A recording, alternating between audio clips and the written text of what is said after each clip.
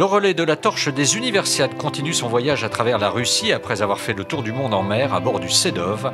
Après avoir quitté Vladivostok fin janvier, la torche atteindra Yakoutsk fin avril. Elle arrivera à Kazan le 6 juillet avant de visiter 30 grandes villes étudiantes en Russie, mais aussi 44 municipalités de la République du Tatarstan.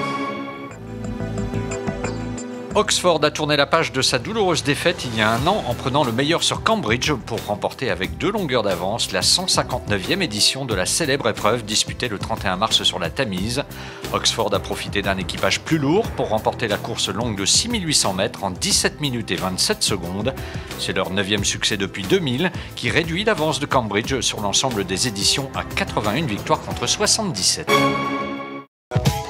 Louisville a remporté la 75e édition du championnat universitaire américain de basketball en battant Michigan 82 à 76 à l'occasion d'une finale intense disputée au Georgia Dome. Les Cardinals ont surmonté un départ un peu lent où ils se sont trouvés menés de 12 points pour revenir et enlever leur troisième titre national après 1980 et 1986. Rick Pitino est devenu le premier entraîneur à remporter les titres NCAA dans différentes universités puisqu'il avait déjà mené Kentucky au titre en 1996. La FISU a annoncé les candidats officiels pour les Universiades 2019. Trois villes ont confirmé leur candidature officielle pour la 30e édition des Universiades d'été, Bakou en Azerbaïdjan, Brasilia au Brésil et Budapest en Hongrie.